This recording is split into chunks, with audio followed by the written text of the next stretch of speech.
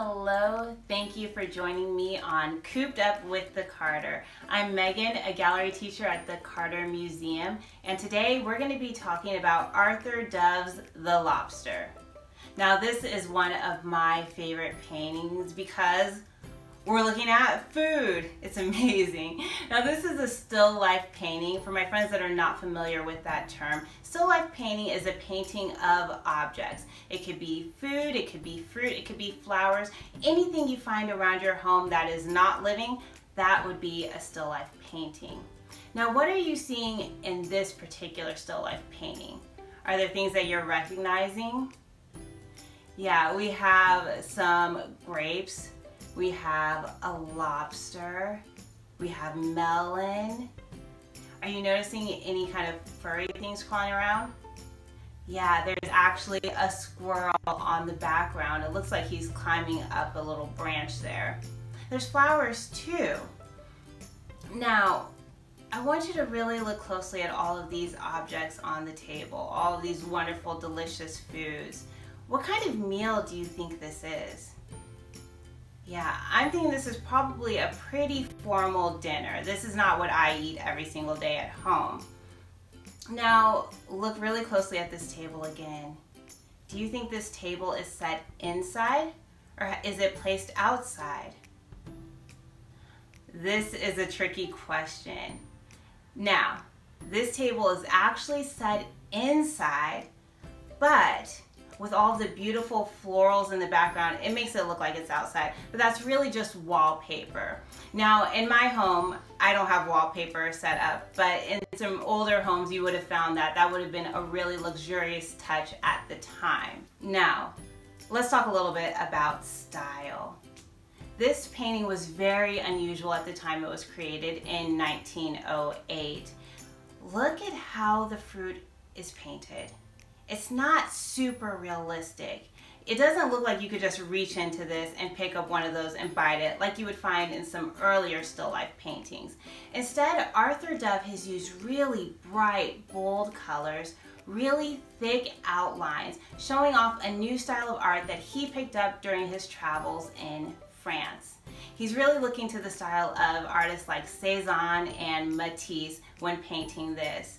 Now when he painted this in 1908, it was very well received in France, but when he showed it in the United States, at the time, it was not terribly popular. But nowadays, we've come to appreciate his beautiful, more modern style. Thank you so much for joining me on Cooped Up with the Carter. I'm Monica, a bilingual gallery teacher at the Amon Carter Museum of American Art. Today on Cooped Up with the Carter, we will be drawing our own still lifes inspired by Arthur Dove's The Lobster. With the help of my family, Hi, I'm Gabriela. we went around our home and chose some of our favorite objects and arranged them in an interesting way. Take some time to do this with your family now remember that Arthur Dove chose very bright colors and lots of textures, so be sure to include objects that are very vibrant and interesting. I chose some apples with lots of different colors and this basket with lots of pattern and textures. And I chose this colorful, um, scented um, candle and my favorite cup that its name is Chip the Baby Beautiful.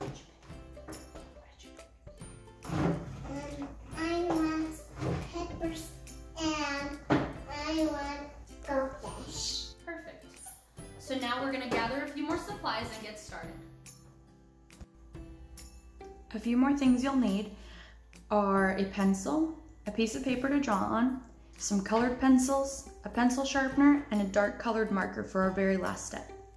Let's get started. So what you wanna do first you want to mark kind of the objects that you have just to kind of get a sense of the size and where everything's to lay. And these are going to be very faint lines. And you just want to start out with very basic lines, so circles, lines, dashes. And you just want to go over a few more lines just to get the shape. Now Arthur Dove's work was influenced by um, Matisse, and so all of his lines are very um, loose. Okay, so our step two is going to be filling in the rest of the shapes. So just getting the general layout of your still life. Now I don't have a fancy lobster in mind, but I chose some objects, or we chose as a family, chose objects that had different shapes and textures too. So just a reminder of that. Next step, after we've drawn in all of our objects, we're gonna go ahead and start adding color. As you see here, I've started with my fruits and really use my basic colors such as red and yellows to mimic the texture and the colors on the apples, the green. You want to be sure that you're focusing on your source of light too. So mine is right above. So all of my objects are going to have a darker shade underneath them in my drawing. So just like I did here. It can be really fun to focus on the details, kind of like Galilea's mug right here. Chip has a little smile on him. So I went ahead and drew that, and then I am moving on to my sweet peppers over here. Sometimes you really need to press down on your color to get a rich shade in here. Later on, we'll focus on the heavy outlines of each of the objects to really make them stand out. So what you can do with the color to help that right now is go around on the outside and really push in with your colors. Once you have filled in all of your objects with color, we are going to focus on um, Arthur Dove's painting. And so he had a lot of textures and patterns. He had the beautiful squirrel up in the top of the wallpaper. Now, I don't have any fancy wallpaper here and my table is just a solid color, but I'm gonna go in and add some designs. Maybe some swirls. So these will kind of anchor your your drawing onto a space. You could also do a table here. Kind of cut off the objects so they look like they're actually sitting on a table that, um, so you're looking at a different angle from it. Nothing fancy, just something to fill out the top and maybe the bottom. Let's see. Just some splashes of color to fill out your entire page. Now, Arthur Dove was inspired by Matisse and by Cezanne, so their use of color you can really play with. Um, layering and mixing color, just add, adding little splashes of color here and there to fill out your entire page.